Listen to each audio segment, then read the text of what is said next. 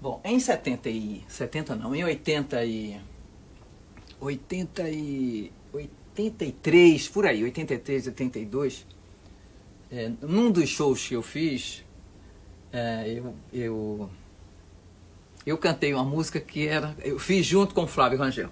Né? E o Flávio Rangel inventava umas coisas, ele criava, na verdade, né?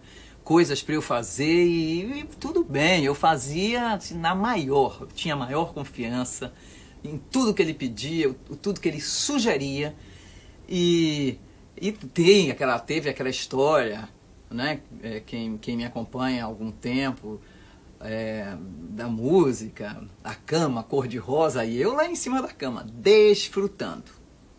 Mas até chegar naquela cama.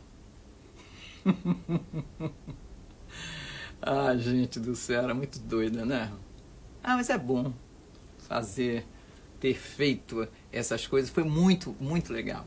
Muito legal. E com um homem que conhecia absolutamente tudo de, de teatro, era maravilhoso. Ei, Flávio, tá olhando por, por nós aí, né, bebê? E essa daqui foi uma delas que eu cantei lá. Vamos lá. Foi.